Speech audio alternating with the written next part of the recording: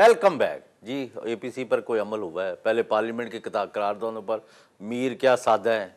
मुझे तो आपकी भी बस हँसी एपीसी की करारदाद पर अमल का आगाज़ होना था पार्लिमानी कमेटी के क़्याम से, कि उसी को इस करारदाद और पिछली करारदाद पर अमल दरामद कराना भी था और उसकी रिपोर्ट भी मुसलसल आवाम के सामने पेश करनी थी। तो हुकूमत की बदनीयती मैं नाहली नहीं कहता, वो ज़रा कमतर लफ्ज़ है शायद। हुकूमत की बदनीयती इसी से वादे है कि उन्होंने अब तक वो पार्लिमानी कमेटी तश्कील नहीं दी। और इब्तदा में बिल्कुल एक आध दो मरतबा ख़बर आई कि मुजाकरात पूरे मुल्क के अंदर उसकी बेस बिछाई जा रही है और जो कंसर्न क्वार्टर्स हैं उन सबसे उसको उनको इन्वाइट किया जा रहा है। लेकिन उसके बाद उस सिलसिले में भी कोई पेशरफ नज़र नहीं आई। यानी इस हुकूमत का ट्रैक रिकॉर्ड पहले भी अच्छा नहीं था। आप ये बात दुरुस्त फरमा रहे हैं कि जब तक हुकूमत हुकूमत है, ज़ाहिर उन्हीं की ए पी सी से तो रखी जाएगी। बाख्तियार लोगों से ही गिला भी किया जाएगा।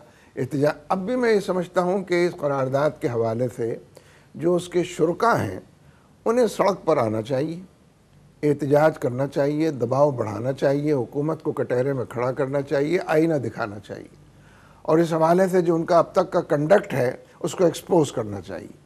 लेकिन ये काम हम तो कर रहे हैं कुछ मैं तो सैयद मनवर हसन साहब भी लगी लिपटी रखे बगैर बात करते हैं।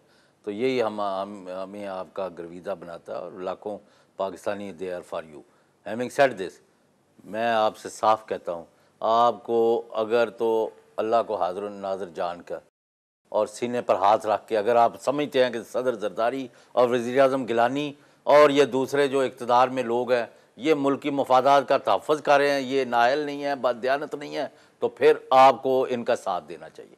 अगर ये आपका इसके बरक्स कंसिडर ओपिनियन है तो फिर आप पर फ़र्ज़ हो गया कि आप जो है ना इनको कल जो गुजर चुका है इनको निकाल बाहर करें। विद इन दॉन्स्टिट्यूशन देखिए ये मसला ये एकेडमिक इशू नहीं है। नहीं है। It's hundred percent political issue और ग्राउंड रियलिटी है जो बड़े साइज़ की सामने आकर खड़ी हो गई है। यानी मुझे ये कहे बगैर चारा नहीं है कि मियाँ नवाज़ शरीफ साहब ने भी जो तहरीक शुरू की है, अगर वो इसमें जस्टिफाइड हैं और जेनविन है कि वो अपोजिशन की एक तहरीक है तो हमारे मुल्क की पूरी तारीख़ में इस तरह कभी नहीं होता। लोग लोगों से रबता करते हैं, हम ख्याल लोगों के साथ मिलकर बैठते हैं, एक मिनिमम एजेंडा तश्कील देते हैं, मिलजुल कर काम करते हैं, न वो डिलीवर कर सकेंगे अकेले।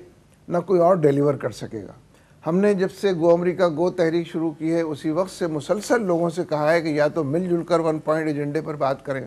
गो अमरीका गो में सब कुछ आ जाता है। उसमें गो जरदारी गो भी आ जाता है, गो करप्शन गो वाला भी मसला आ जाता है और उसी में हब हब वतन लोगों को आगे बढ़ा। लेकिन अगर ऐसा नहीं कर सकते तो कम अज़ कम अपने प्लेटफॉर्म से करें। लेकिन कोई चीज़ इसमें से लोगों ने अभी तक तस्लीम नहीं की और हालात ख़राब से ख़राब तर इसलिए मैं ये समझता हूँ अच्छा सर आप जो इनसाइडर्स हैं ना जो नवाज़ शरीफ साहब के जिन जिनको एक्सेस है उन तक वो कहते हैं कि वो जरदारी या गिलानी को हटाने में दिलचस्पी नहीं रखते। वो कहते हैं हमने भी पाँच साल पूरे करने हैं एक दिन काम नहीं करना पंजाब हुकूमत का। वो भी करें। सिर्फ़ हम तो ये चाहते हैं कि हमें उनका हिस्सा ना समझा जाए। बस। उनसे हटा ये go Zardari go Zardari it doesn't take you any देखिए उनका उनका हिस्सा तो जज्व लाइनफक के तौर पर वो उनका बन चुके हैं।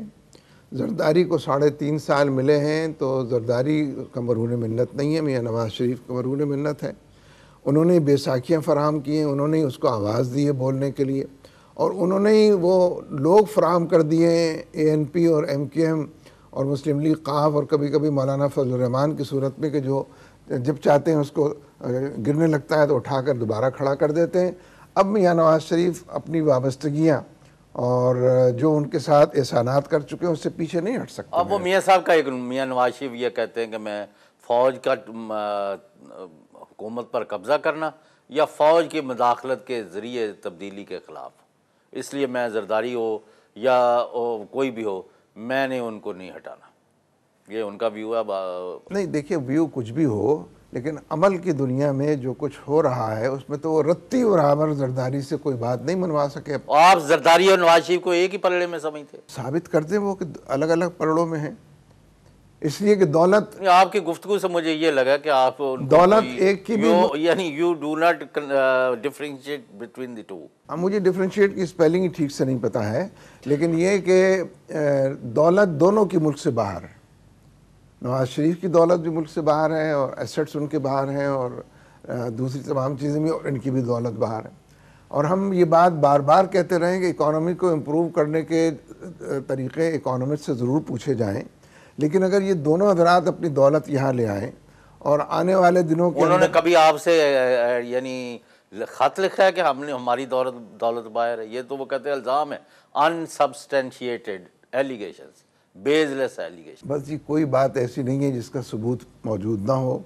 तमाम बातें पाए सबूत को पहुँची हुई इस पर बेशुमार लिखने वालों ने लिखा है बोलने वालों ने बोला है तजिया नगारों ने तजिया किया है।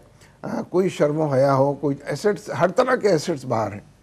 तो इसलिए मैं नहीं समझता कि इन दोनों के अंदर कौन से फ़र्क हैं कि जो लोग डिफ्रेंशिएट कर सकें और बता सके कि एक इतना भला है दूसरा जो इतना भला नहीं। मेरे नज़दीक तो कोई ऐसी चीज़ थोड़े से आप भी बहुत ही ज़्यादा खफा लगते हैं नवाज़ लीग से। देखिए, एक है सियासी दायरा। सियासी दायरे में जो खफगी है, उसका इजहार इस दायरे में हम नहीं करते। इसलिए कि ये कौम का और मुल्क का मसला है। सियासी दायरे में तो वजह तौर पर हम आज तक इस सवाल का जवाब तलाश नहीं कर सके कि जब मियाँ साहब की सदारत में, लंदन में ए पी डी एम तश्कील पाई और उन्हीं की सदारत में ये फैसला हुआ कि हम इलेक्शंस का बाईकाट करेंगे फिर एक तरफा तौर पर उन्होंने हिस्सा लेने का जो ऐलान किया किसका प्रेशर था या किसकी तजवीज़ थी? जो न्याजी साहब की टर्म्स एंड कंडीशंस हैं उसके ऊपर मैं तेल लाहौर में बेच सकता हूँ। मेरी अपनी इंडिपेंडेंट कोई पॉलिसी जो है ना नहीं चल सकती। वो फौरी उसका लाइसेंस कैंसिल कर देंगे। फिर भी आप मुझसे सवाल करते हैं। जवाब तो अच्छा खासा आप खुद भी दे रहे हैं माशाल्लाह। इसलिए जब भी आप लोगों को देखें उनकी असल देखें। अगर वो अमेरिका को और यूरोप को अपना खुदा माने और रब रब्बुल आलमीन के ऊपर उनका यकीन ढिलमिल हो ढिलमिल हो। दिलमिल हो तो फिर यही होगा जो हमारे साथ कभी हम कहते हैं कि इंडिया हमारा दोस्त है कभी कहते हैं ये लकीर है जो है बॉर्डर है इसकी क्या ज़रूरत है अमृतसर फिरें यहाँ फिरें। भाई कौन कहता है ना फिरो लेकिन जो जुल्म ज़्यादती कश्मीरियों के साथ या मुसलमानों के साथ हो रही है उसका तो देखें जो जामिया मस्जिद दिल्ली के बाहर जो हज़ारों की तादाद में मुसलमान जो उनकी हालत है, एक वहाँ चक्कर इनका लगवाएँ ज़रा। तो पता चले, ये क्या बातें हमें, कौन से, ये तो सारे के सारा इनका बाबा, यानी आवे का आवा बिगड़ चुका है। प्रॉब्लम ये हो रही है। अब आप ये मुझे फरमाएँ कि अब इमरान खान भी अलहदा कर रहे हैं, आप भी अलहदा कर रहे हैं तो ये इससे कोई अच्छा मैसेज जा रहा है? देखिए इलेक्टोरल पॉलिटिक्स तो इलेक्शंस के ऐलान के बाद ही शुरू होती है। और ये तयशुदा अमर है कि मुल्क में कोई एक सियासी जमात भी ऐसी नहीं है कि जो अकेले पूरे मुल्क में इलेक्शन लड़ सके। सबको अलाइंसेस की पॉलिटिक्स करनी होगी। एक एक सूबे के अंदर दो दो अलाइंस भी हो सकते हैं, इसलिए कि सूबे के हालात मुख्तलिफ़ हैं, एक दूसरे से भी। और एक सूबे में भी अर्बन और रूरल हालात मुख्तलिफ़ हैं, जैसे कि सिंध के अंदर तो बहुत वादे और दो टोक है।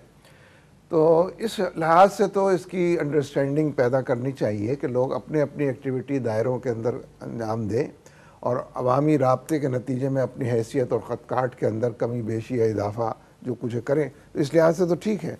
और मैं समझता हूँ कि अंडरस्टैंडिंग और कम्युनिकेशन सब पार्टियों की, सब पार्टियों के साथ है।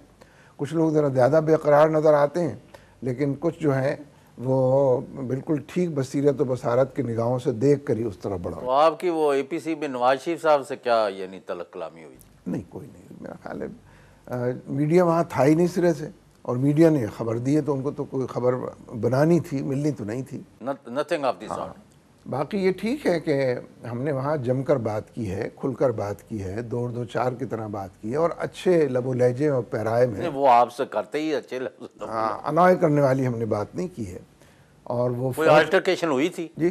कोई उनसे कोई थोड़ी बहुत नहीं मतलब ये ज़रूर हुआ कि क्योंकि उनकी गुफ्तु के बाद मेरी गुफ्तु थी तो मैंने ये बात ज़रूर कही कि बहुत सारी बातें ऐसी होती हैं कि बड़ा फोरम जिसका मुतहमल नहीं हो सकता। और आप जैसे ज़िम्मेदार आदमी को तमाम चीज़ों पर एक्सेस हासिल है फ़ौज से भी आप बरह रास्त बात कर सकते हैं पीपल्स पार्टी से भी आपकी मुफाहमत चल रही है। तो इसलिए ये जो बात बातें आपने की हैं शायद इस फोरम में अगर ना कही जाती तो बेहतर थी। तो किसी दर्जे में उन्होंने भी तस्लीम किया और उसका जवाब भी आर्मी चीफ ने मुनासिब पैराए के अंदर दिया।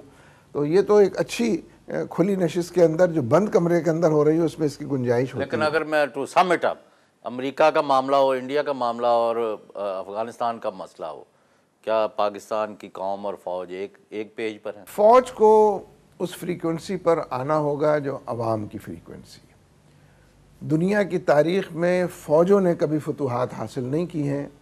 कौमों की फतूहत फ़ौजों के ज़रिए से उस वक्त होती हैं जब कौम पुश्तबानी करे और पूरी कौम जो है जो, उन जज्बों से सरशार हो कि जो आज़ादी के जज्बे हैं।